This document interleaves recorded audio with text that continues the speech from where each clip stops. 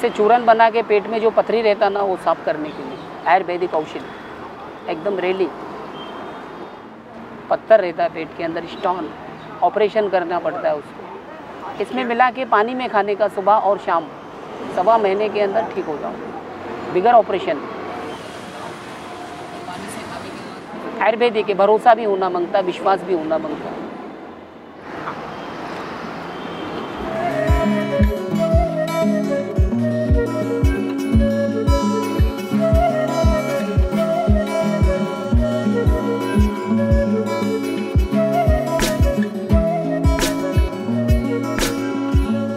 This is an introduction to the exhibition, this space. It's both an introduction to the, the backdrop of the civilization that medicine, health, and healing emerged from, and also a general orientation to the show. One of the ways I could have divided this show up is according to different knowledge systems, codified knowledge systems of medicine in India Ayurveda, Unani, biomedicine, or as it's called in India, allopathy. Um, but the way I decided to do this in the end actually was to group biomedicine, Ayurveda, and Unani together as analytical approaches to health and healing, which contrast with the other great way of looking at health and healing in India, which is where spiritual belief predominates. The work behind us is by uh, a Punjabi artist, his name is Siddharth, and it shows a healer of Ayed who was revered in the artist's home village in Punjab. Revered by villagers both for his connection with the natural world and the supernatural world. And in many people's imaginations, the two sometimes blend. One of the key ways in which people relate to healers in, in India is whether or not they trust them. There's a word that comes up again and again when people talk about their healing experiences, and it relates to the relationship that they have with any individual healer, whether that's a, a biomedical physician or a faith healer. And the word that comes up again and again is the word vishwas, which is a Hindi word which means both trust and confidence.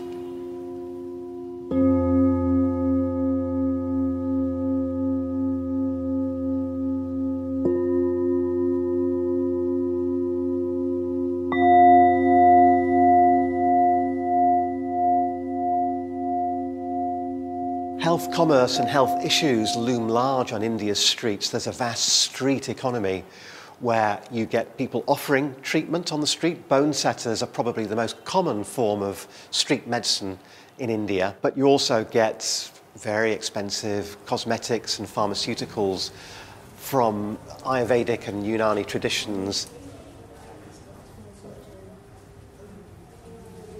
These signs come from Dharavi, which is uh, Mumbai's largest slum, possibly India's largest slum, and uh, they're signs for a bone setter probably the most common practitioners of street medicine in India, and it's related actually to wrestling.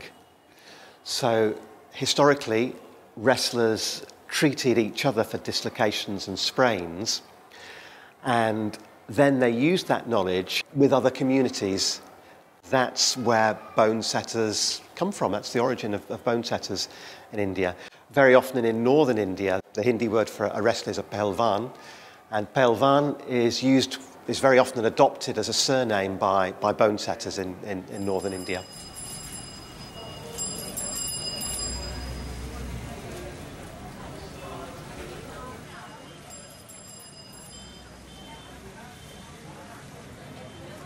हमारा नाम शहजाद है।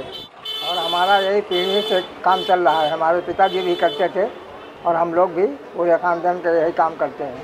Customer आते हैं, उन्हें फ़ायदा होता है, ऊपर वाला फ़ायदा करता है तो आते हैं, काम होता है। हाँ स्कूल से नहीं सीखा, जब आप करते थे तो वही जो घर में काम होता वो सीख जाते हैं, चाहे जो को चाहे जैसा काम हो। दर्द कहीं का हो, या हड्डी खसक गई हो, या टूट गई हो, कैसे वो सब होता है काम। पहले मालिश करते हैं, देखते हैं क्या कहाँ, कौन सी नस गड़बड़ है मतलब किस नस में दर्द है, उस हिसाब से करना पड़ता है। मालिश करते हैं, फिर दवा लगाते हैं, फिर पट्टी बांधते हैं, और पट्टी तीसरे दिन, चौथे दिन खोली जाती है, उसे आराम मिलता है। हड्डी को तीन महीने लगते हैं जुड़ने में। जो काम, जो इंसान, जो चीज़ का करता है, उसको सब पता हो जाता है करते करते वैसे जब हमारा हाथ चलता है बदन पे तो वो सब पता चल जाता है कहाँ तकलीफ़ है, कहाँ गांठ है, कहाँ क्या चीज़ है, वो सब पता चल जाता है। जैसे किसी की हड्डी फ्रिक्चर हो गई, वो कहता है फ्रिक्चर नहीं हो गई चोट वोट नहीं लगी है तो उसका एक्सरा कराते हैं, तब पता चलता है कि फ्रिक्चर है, कि क्रेक है, क्या है, क्या नहीं है। एक्सरे हैं, सब रखे हैं तो हम ले जाते हैं तो हम रखते रहते हैं।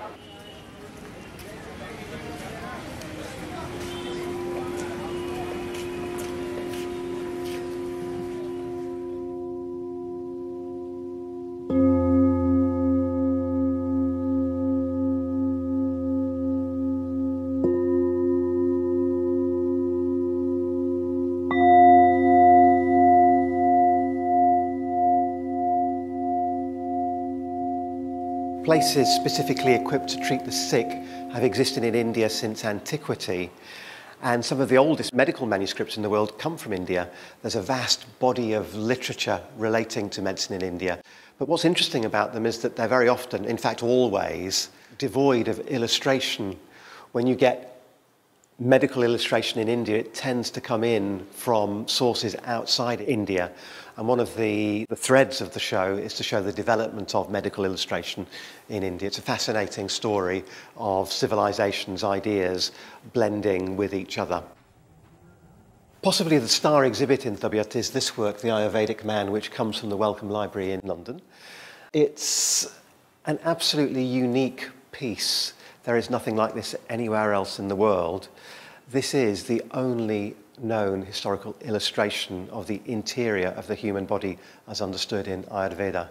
It's an interesting work because very often when you get depictions of the body in India, you have for illustration of chakras, the energy centers in the body, but you don't get very often depictions of the body as a biological organism, um, which is what this is. The anatomy that's shown uh, in, the, in the, the, the painting here isn't uh, accurate. This isn't what the inside of the human body looks like, but it is very definitely a biological approach to representing the body, which is unusual in India.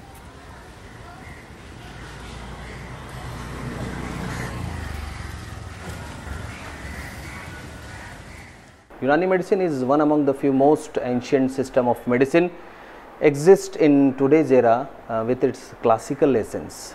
It originate in Greece. Uh, the father of medicine to modern medicine is the same we known as Bukrat or Hippocrate who can we can trace you know Bukrat in uh, almost uh, 370 to 400 uh, BC. The concept of Unani medicine is based on the concept of akhlat or humors we say you know body is composed of four type of humors and these humors you know contribute the health status of the person. You know once there is something morbidity rises you know in uh, all these four humors uh, disease will be the result. You know the physicians aim primarily to correct all these uh, humors balance and the patient uh, get benefit of it and land up into health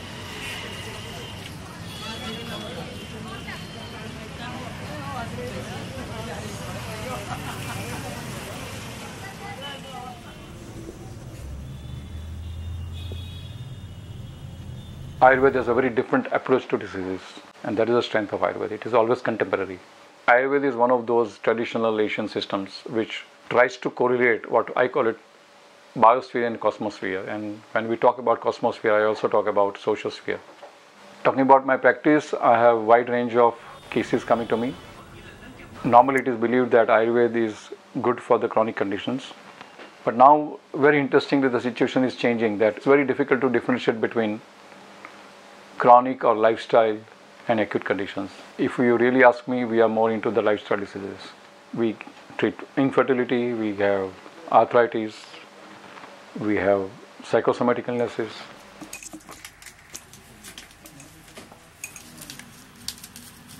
Most of my medicines will be comprised of the herbal products, herbal teas, decoctions, liquids, fortunes, powders, tablets, which are now tablets and capsules are the new dosage forms.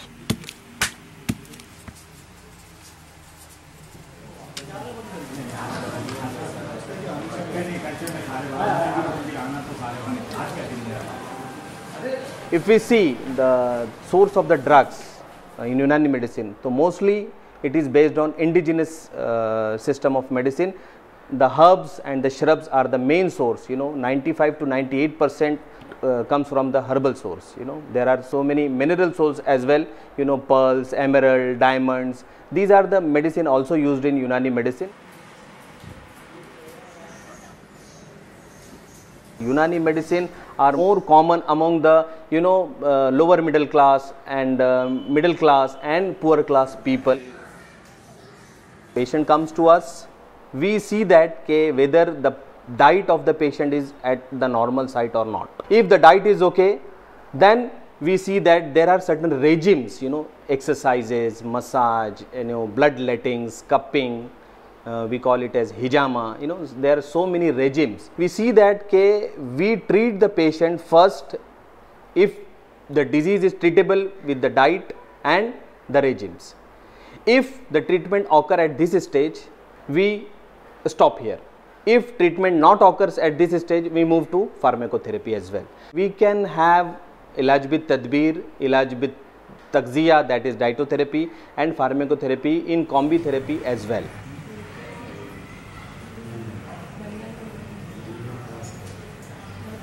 Let me give you an example. You know, in, in, in Mumbai we have this uh, rainy season. Exactly during that period, we find Hindus following certain traditions of fasting, Jains following particular schools of fasting, eight days fasting, they call it Atthai, and Islamic coming going with the Ramzan. It's very interesting to observe this, that these religions have built-in systems which are meant for health. And this is the relationship between, to me, systems like Asian medicine and Ayurveda and uh, Unani medicine and Tibetan medicine. And there cannot be medicine without social dimension. And that is the strength of these systems, and there is need to encourage these systems. I think the future of mankind will be better. We are struggling to create personalized healthcare, personalized healthcare, and not be without social dimension.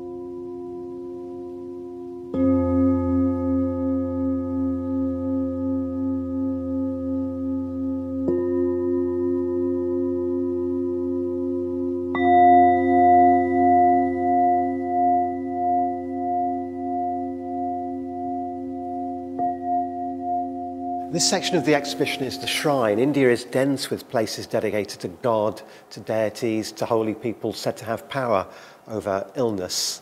Making peace with deities associated with diseases or with danger reflects Indian realities. As historically common causes of death, the awesome potencies of, of smallpox and snakes have been both feared and worshipped. Amulets are objects that are believed to have divine or supernatural powers. They've taken many forms, from simple lockets to ornate jewellery uh, and even whole garments. Um, usually they're worn or carried as general protection from injury or harm, and they may also be prescribed for specific illnesses.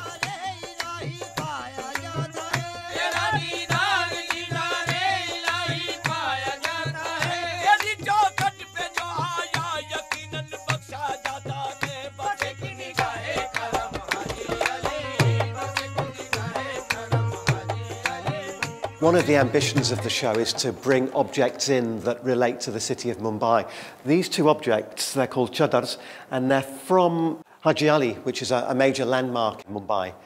Um, every Mumbaikar will, will know this place. It's, uh, it's not a mosque, it's a, a shrine, it's a dargah. The idea is that um, you cover the, the shrine of the, of the saint and ask for, for healing. Um, either physical he healing or, or, psychological healing. And it's interesting that um, the visitors to dargahs in, in India are not exclusively Muslim. You get lots of Hindu, Sikh, Christian visitors to, to, to as well.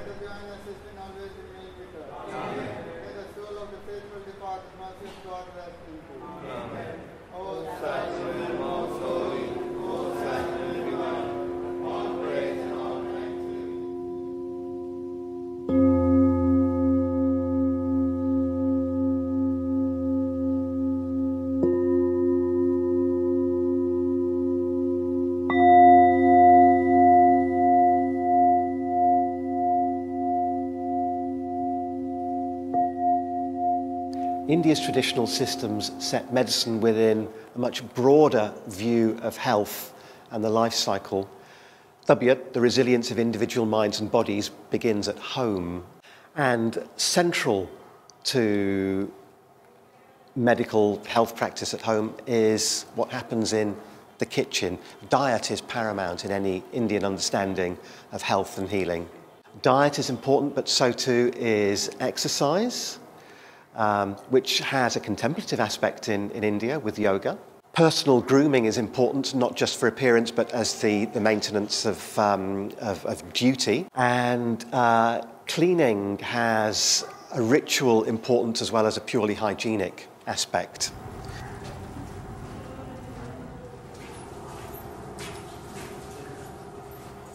Many of the objects in the exhibition are really very ordinary objects, um, but which have uh, an extraordinary dimension to them. And one of the ambitions of the show is to show how extraordinary ordinary things can be. So this is a tongue scraper. This isn't something that's very valuable. I bought it for, for 20 rupees from uh, uh, a bazaar near the museum.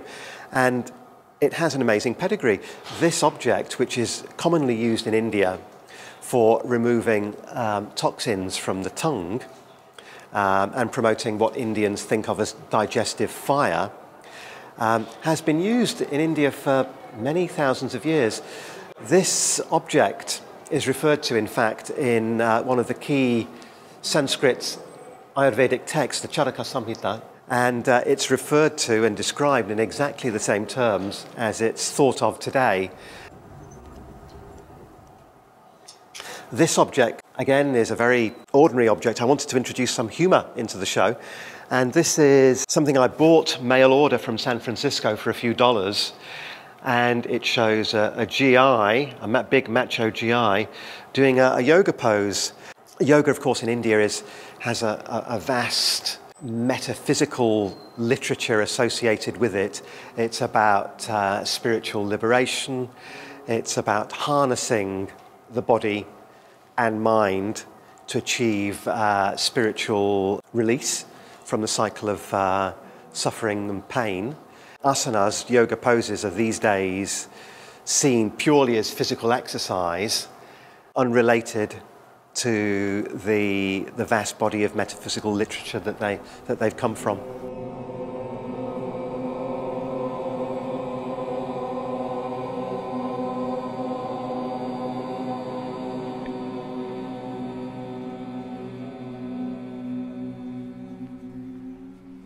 Typically when people come in with particular problems, we just look at the person, of course, as a whole, but we start off with wanting to get the person well. One of the most important things for all of us as human beings, I guess, is to actually develop faith in something.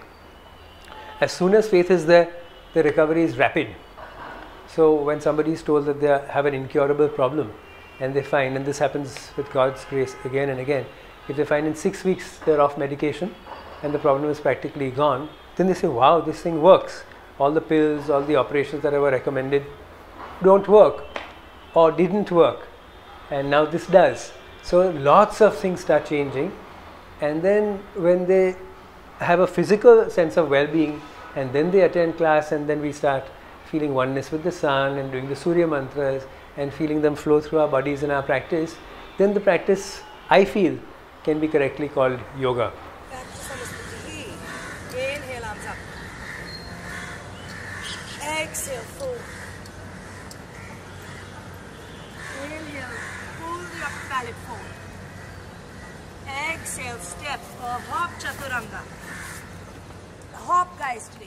Yoga is not about the asana. You can be a yogi anywhere that you are.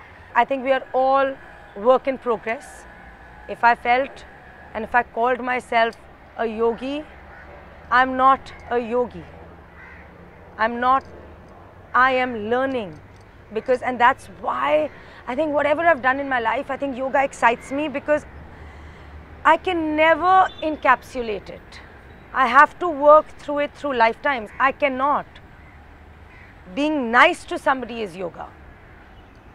Doing something nice for yourself or saying that I love myself is yoga. Yoga is not a downward facing dog. A downward facing dog is yoga when you have to stay there for two, three minutes and your frontal lobe is telling you, you know what, this is so uncomfortable, I need to get out of it.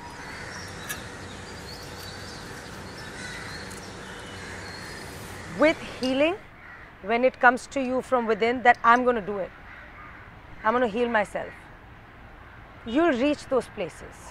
And I do, I believe, and it's a very big word that I use, but the universe, I believe that everything kind of comes together.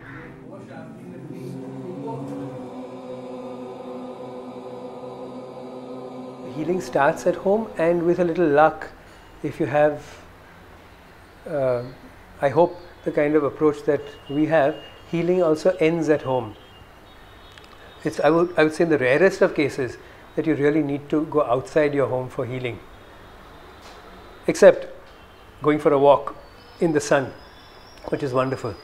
But it's amazing how much we have in our kitchen which cures us of a wide variety of problems, whether it's hing or haldi or adrak. So we have all this sort of stuff in our own homes, and the irony, and I keep finding that nature is full of these jokes, these sort of ironies. The irony is that the man who founded what today we call allopathic medicine, allopathy, the founder Hippocrates said, Let food be your medicine and let your medicine be your food. The same one who suggested that now in allopathy, so little is known about the healing power of everything in our kitchen, and people keep going to chemists to pick up tablets and things for it. It's okay, but there is something much safer, much more beautiful and present without having to leave your home.